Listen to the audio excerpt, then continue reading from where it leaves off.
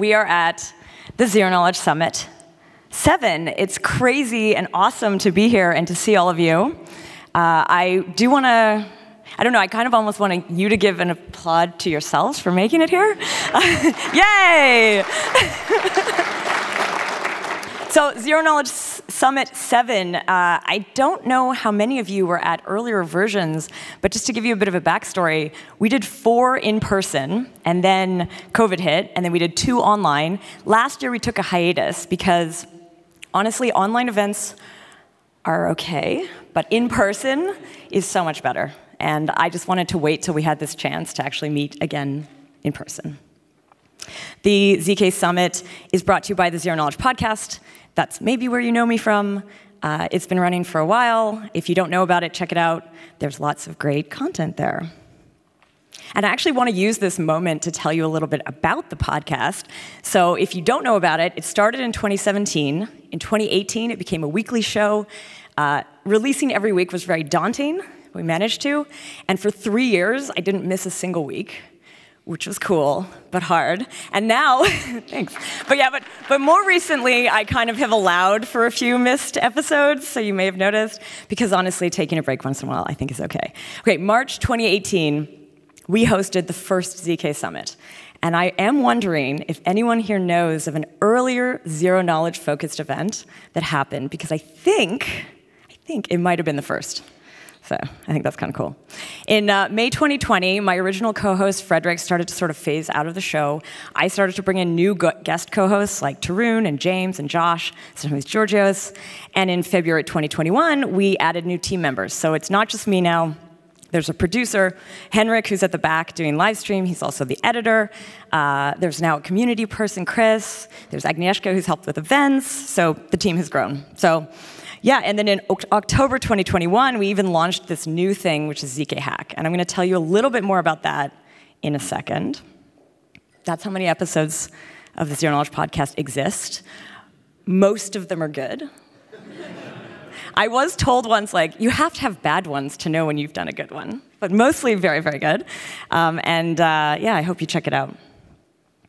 These are the top episodes. So there are some great zero knowledge focused episodes, and there's also some really recent ones who've kind of like come into the top, what is it, seven. So for example, Sriram's episode only came out, I think, a few weeks ago, and it's, it's done very well. And he's actually going to be speaking later today. If you want to find out more or keep up to date, there's the Twitter, but there's also a link tree with all of the channels. There you can find like the job, we actually have a job board focused on ZK Tech jobs. We have a community board. There's lots of ways to engage. There's a very active Telegram group, and you can find it all there. So I want to tell you about ZK Hack. I know I'm giving you lots of backstory here, but we are waiting for people to arrive.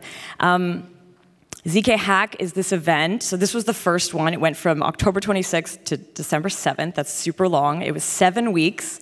And in between each week, there was a puzzle hacking competition. It was an experiment. It was incredibly cool. And it's kind of becoming its own hub in its own right. And for this event, we're actually going to be using the Discord for ZK Hack. That's the place. So the podcast is quite general. The podcast is like, when I'm interested in something, it's, it's decentralized web, it'll be zero knowledge tech, it'll be cryptography, but it's quite broad. ZK Hack, on the other hand, is very, very focused on zero knowledge tech, zero knowledge learning. That's like all we talk about there. And so if you're not in that Discord, you should definitely join it. I'm going to add the QR code in a second. Oh yeah, now I'm gonna show my NFTs because that is the world we live in. So I, last summer, uh, I had a few days off and I started to draw these little cards. So this is like a deck of cards. They're, I mean, color in, draw, whatever. It's like, they look like that. So there's 52 cards with two jokers. They are live. Some of them are for sale. I, they're very new people who have bought, there was like an art version of it. Anyone who bought any of those actually got an equivalent of these. So if you have one of those original ones, you also have one of these.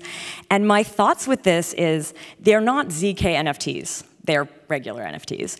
But we, I want to use these to do ZK experiments with NFTs. So having them maybe allows I don't know, access to some sort of private voting or something like that.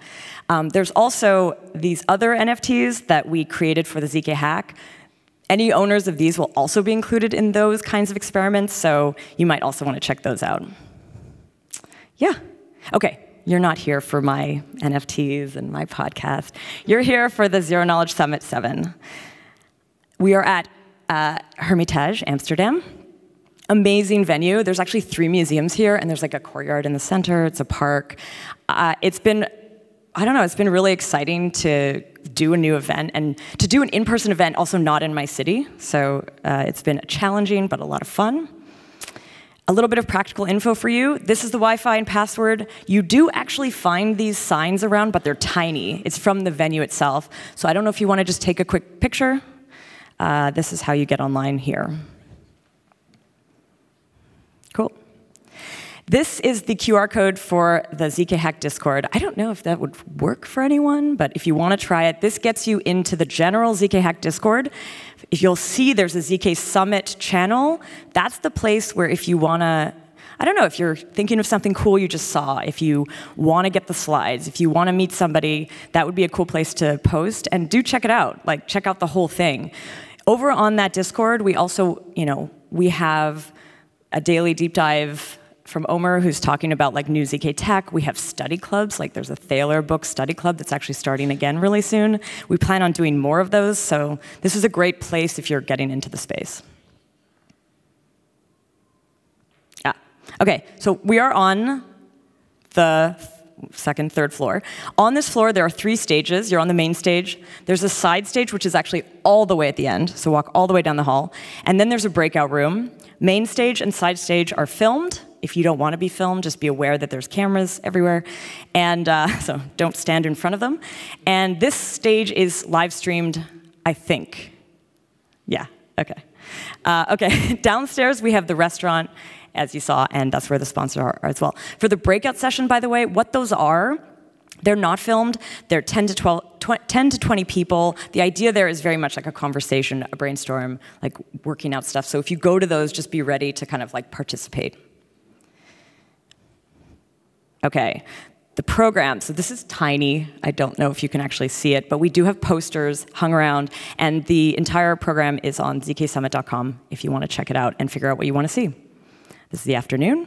We have a lot of content. There, it's going to be amazing. Like, uh, I want to say a big thank you to the team that put this together. This is a bigger event than I used to do. Like, it used to be 100 people, 150 people, and now this is a much bigger uh, enterprise, and there's been a lot of people helping Agnieszka and Henrik and Chris and Tanya and anyone else I'm missing have been just phenomenal on putting this thing together. So I want to say a big thank you.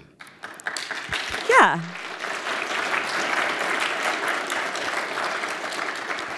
I want to say thank you to the platinum sponsors, Aleo, Anoma, and Mina. You're going to actually hearing, you're going to be hearing from them shortly. They're going to do a short five-minute presentations each.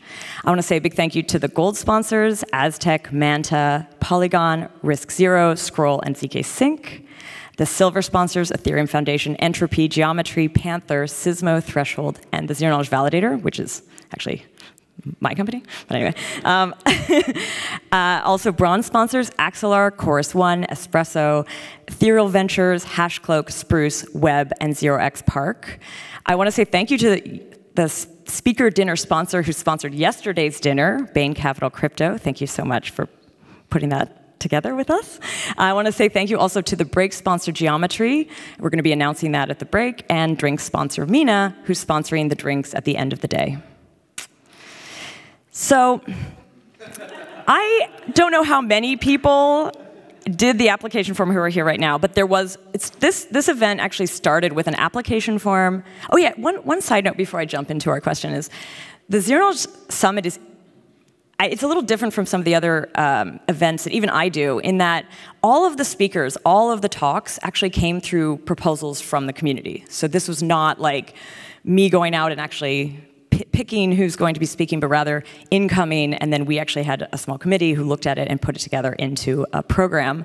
I really like that format, um, so just to give you a sense for it. But going back to the application form, we, I asked a so every time I do this, I ask a question, how would you describe something to a friend? The first one was like, how would you describe zero knowledge? ZK snarks. And then for this one, I chose one. I don't even know if I can answer the, that, this question. This is a very, very hard one. But we did get some answers, and I'm going to share a couple of them now. So, how would you describe polynomial commitments to a friend? It's a hash of a polynomial that you can do basic arith arithmetic checks, arithmetic checks on. I'm kind of curious how people feel about these answers too. Um, another answer is if they don't know what commitments are, I would start with the concept of a game of remote rock, paper, scissors. So this is an interesting one. I give you a lockbox, but instead of having a single keyhole, the box consists of 20 keyholes. I can give you a key for one of the keyholes, and it'll unlock and present a small piece of information. But in order for the entire box to unlock, you need all the keys. So you can't actually access all the information in the box, and each of the keys are also independent.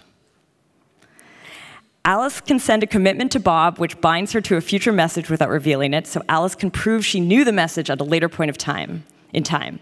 A polynomial commitment scheme allows Bob to do arithmetic checks on them in addition. And here's where I, we start to get a little lost.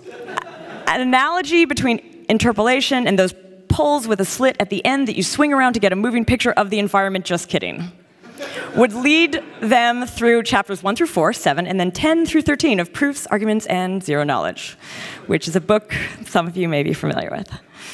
Um, I wish I had those kinds of friends. Actually, you are in luck, my friend. Your friend, new friends are to be had here who may be able to have that conversation with you. A polynomial commitment is a cryptographic device by which a prover can say that this is the polynomial I will be using without having to reveal the polynomial. Later, the prover can convince anyone that they did indeed use the correct polynomial. Thoughts? Opinions? I would ask them to talk to Guillermo who's there. I would say let's order another glass of wine first. Later on, we can do that. Not yet. It's, what is it, 9.45? Okay. All right, so yeah, just uh, to wrap that up, to keep in touch, Twitter, Linktree, all the links. Very cool. And that's the intro to the Zero Knowledge Summit. I now want to introduce our three platinum sponsors. They're each going to say five words, uh, five words, five minutes, sorry. They're each going to speak for five minutes. Um, first up, I want to introduce Alex from Aleo. Tell us a little bit about, yeah, Aleo. Yeah. Hey. Uh, hey, everybody, it's a pleasure to be here. I'm actually probably only going to say a few words about Aleo and take only two minutes because you're going to hear from Pratyush uh, here in a second, who's going to talk a little more about it. But I'm just going to take these two minutes to say uh, thank you to Anna for letting us sponsor this amazing event. And uh, it's especially incredible for me because I actually helped out with the last ZK Summit, all online. So some of you who participated in that one might remember me. I was running the side stage.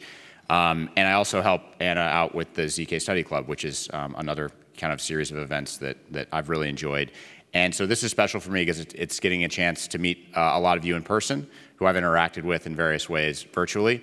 And it's also exciting for me because, you know, I, Anna kind of did a good history of the arc of how these events have developed. And just looking at the sponsor page pages should tell you how far the space has come in just the last four years. I mean, ZK Summit 1, I mean, how many sponsors were there? one sponsor, right? So like that's probably about how many ZK companies there were, right? Zcash, ECC or something, right? Um, but no, it's, it's, it's incredible to be on this journey together with all of you and be part of a technology that I think is really going to, uh, going to change the world. And it's fantastic to see uh, all of you in the audience here doing amazing work. I'm looking forward to hearing uh, all of that work that you're doing. And again, that's why Aleo, um, which you're going to hear about more from Pratyush, but we're proud to sponsor this event. Thank you very much.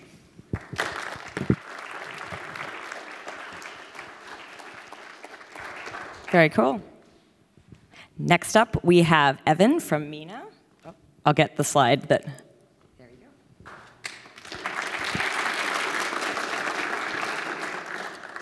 Cool. Thank you, Anna. Uh, so I'm Evan. I am the CEO of the Mina Foundation and a co-founder of Mina Protocol. It's great to be here today. Um, like people have said, um, four years ago, this, this, would not have been possible, and it's amazing to see the growth in the space and all that's happened since to make an event like this possible. And thank you, Anna, so much for putting it on. Um, it doesn't happen easily, we know, and thank you to you and the organizers for making it happen. Um, I, I, guess I just want to briefly say um, some things on Mina and ZK in general. Like, I feel like this is just a very important time for zero knowledge proofs. It's like a moment when it's maybe moving from something that's niche to something that is more broad, and that's like a very special moment to be a part of, as well as I think a huge opportunity for what we can bring to crypto with privacy. And I think in particular, when you think about Web3, um, that plus privacy plus the security of zero knowledge it can both unlock so many new applications as well as, I mean, at least I hope, um, bring something that allows crypto to build something that is actually competitive to Web 2 in a way that is, is meaningful. Um, something I'm very excited about. So uh, very looking forward to it. Briefly on Mina, so we're a protocol building a cryptocurrency that's kind of inside of a zero knowledge proof, so it's easy to verify, and also makes it easy to program zero knowledge with just TypeScript. Something we're very excited about to get like this broader zero knowledge thing happening. We have a um, a program where people can learn how to program um, zero knowledge proofs with just TypeScript using Mina. So if you're curious about that, I encourage you to check it out. We have already done a first cohort that was successful, and we want to do a bunch more so that we can like really make it easy for a lot of people to program with zero knowledge proofs and, and spread the word on it. Um, we'll also have a grant program coming out soon after that, so it's a good opportunity to learn how to program with zero knowledge and TypeScript with Mina, so you can then get grants and stuff. And yeah, I mean, we're also hiring, obviously. Check out QR code if you're curious. If you want to work on like the core cryptography and support of like what goes into Mina's cryptography and like ecosystem, that's a good place to check out. Um, so thanks for listening to me for a few minutes. Um, thank you all for being here. I'm really excited for the event, and thanks again, Anna.